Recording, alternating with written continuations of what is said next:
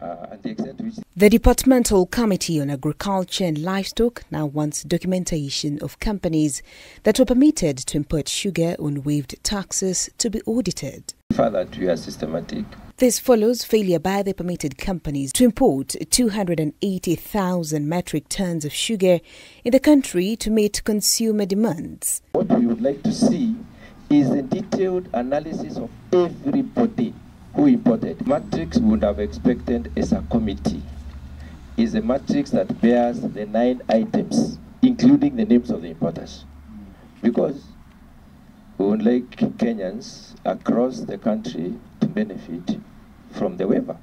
Appearing before the Departmental Committee on Agriculture and Livestock to shed light on the tax waiver on maize, sugar, and rice imports, Agriculture Cabinet Secretary Mithika Linturi said he does not know why the permitted importers have failed to deliver the required amount of sugar. from January to September 2023, the sugar that has come in is 163,827 metric tons.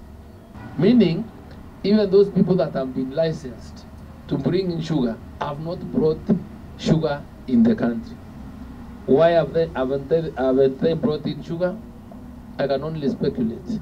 With a deficit of 48,000 metric tons of sugar in the country, the CS has defended its scarcity, attributing the same to the lack of sugar in the commercial trading bloc and lack of availability of the commodity in the world. sugar availability in the world is not there, it's limited.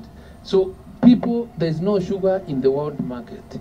India the other day closed the importation of sugar and rice. Commercial sugar is also not there. The members of the committee are, however, questioning as to why, despite having tax waived on the import of sugar, the price of commodity is yet to come down. The main reason why the, the government is involved in tax waiver is to cushion Kenyans against adversity such as the high cost of living.